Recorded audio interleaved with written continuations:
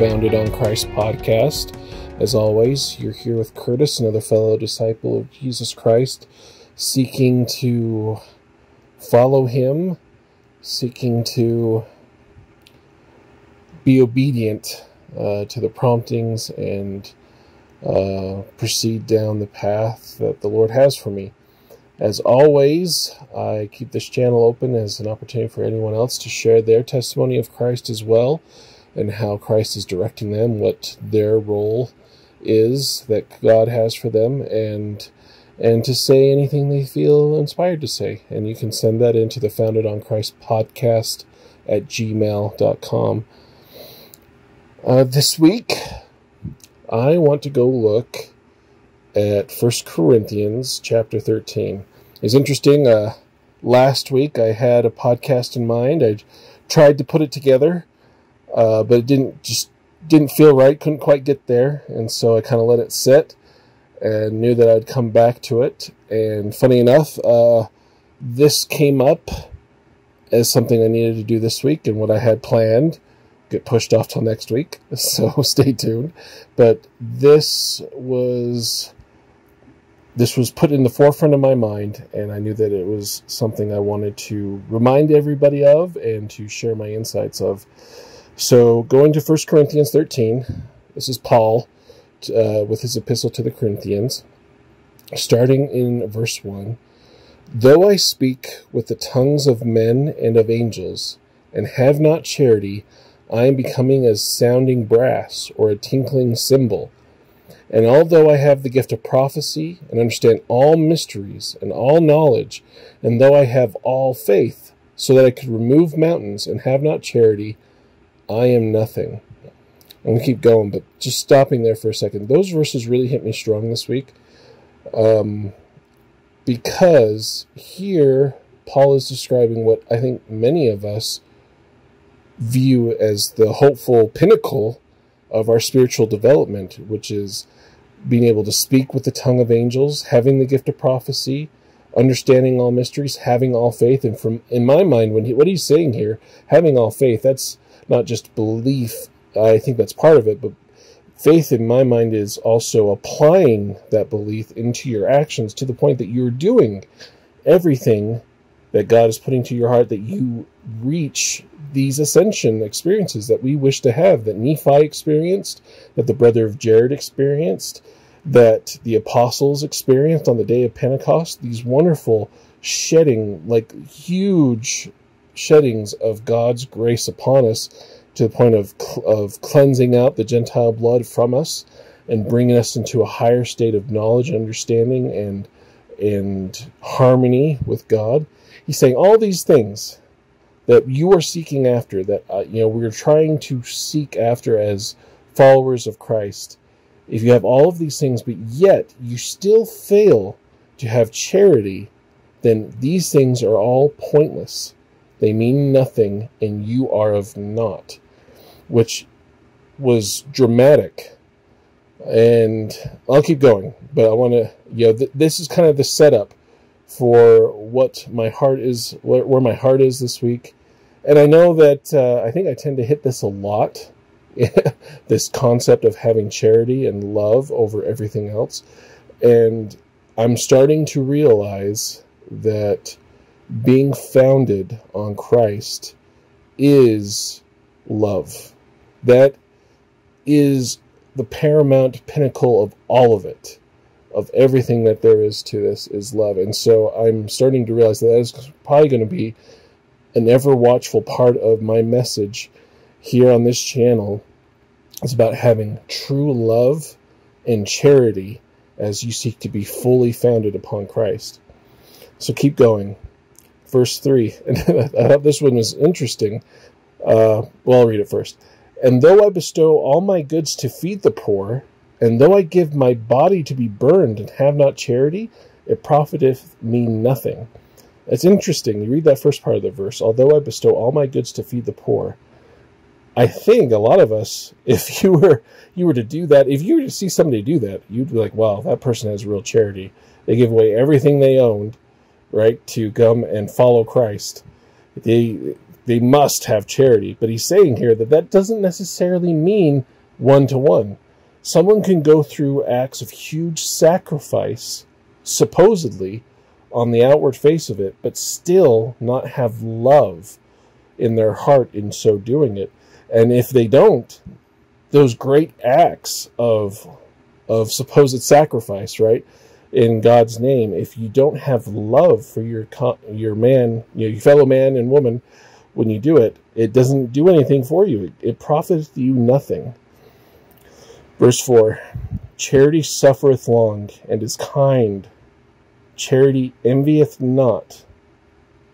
Charity vaunteth not itself, is not puffed up, doth not behave itself unseemingly, seeketh not her own, is not easily provoked, thinketh no evil, rejoiceth not in iniquity, but rejoiceth in truth, beareth all things, believeth all things, hopeth all things, endureth all things. Charity never faileth. But whether there be prophecies, they shall fail. Whether there be tongues, they shall cease. Whether there be knowledge, it shall vanish away. And I'm going to end there.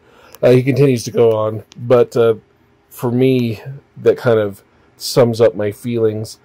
It's interesting, you read through all those things, and it's really easy to get into this hyperbole place like, yeah, yeah, love is the greatest thing. We get it. Love is ultimate, love can do everything.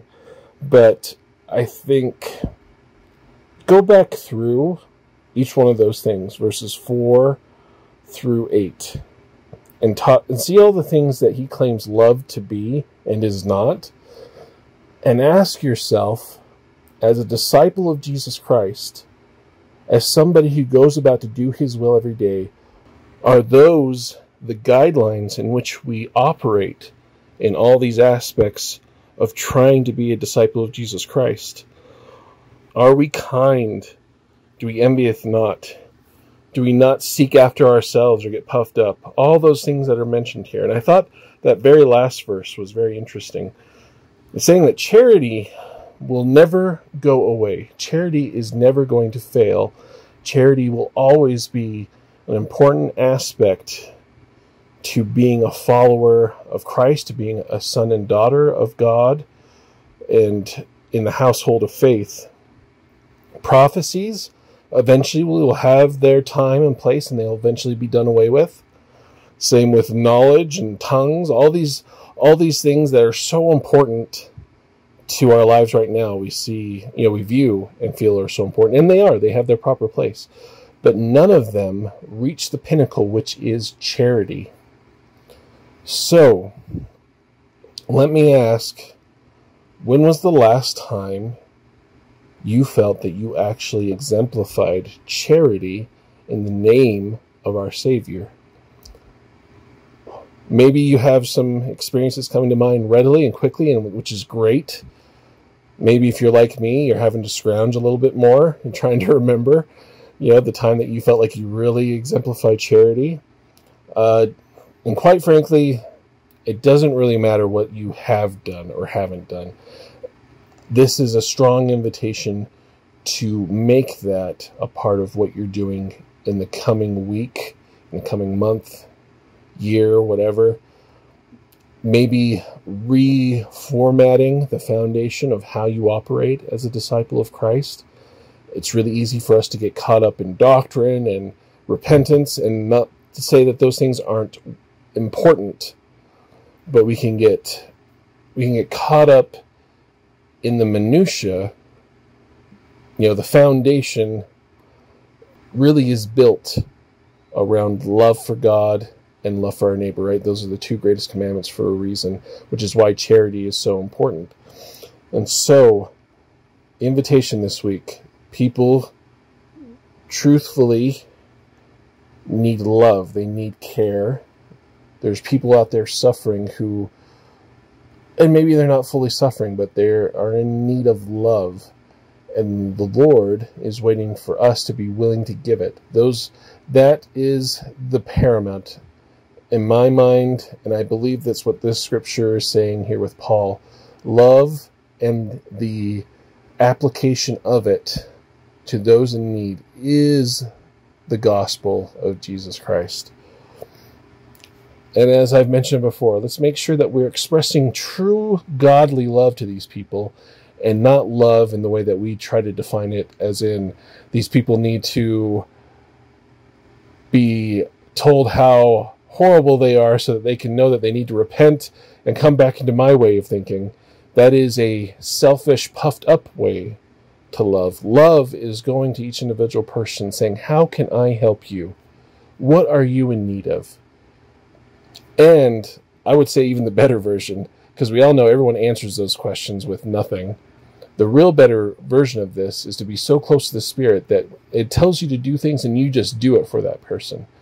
That you know your neighbor well enough to know when they're having a tough time. You love your neighbor consistently so that you know when they are suffering and you know what you can do to help them. The Spirit will step in and fill in the gaps, but true charity, really long suffering, right, is getting into it every day to get to know the people around you so that w- when they do have a trial, they don't necessarily, you don't have, they shouldn't have to rely necessarily on telling you what's wrong, right? I know this is a little bit radical and maybe a little bit hard. I mean, this isn't easy for me to hear either.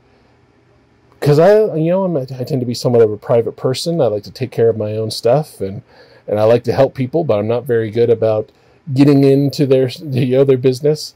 And and this isn't an excuse to be nosy, but it is an opportunity to exemplify love in to others as God does to us. God takes the time to know who we are, where we are, and what we need, and then He fills in those gaps as we need them. We can't do that fully yet. We're, we haven't reached that amount of grace and power. We hope to someday do that. But this is our opportunity to attempt to do that in our weakness so that when we are made perfect, we can do it perfectly. As always, seek after his face. Amen.